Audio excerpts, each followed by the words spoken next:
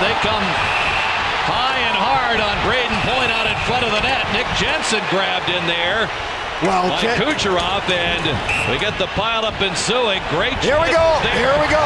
Blue line. Out of the blue line. Center ice. Throwing punches here with Cernak. This has been coming for three games. Oh my.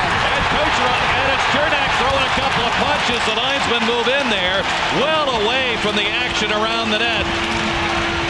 Gets mugged afterwards by Jensen and a couple other guys. He takes a couple. But then out by the blue line is where the main event was really going on. And this has been coming since game one of these three games. And Wilson will get the decision on this for sure. Cernak has not had a lot of fights in his career.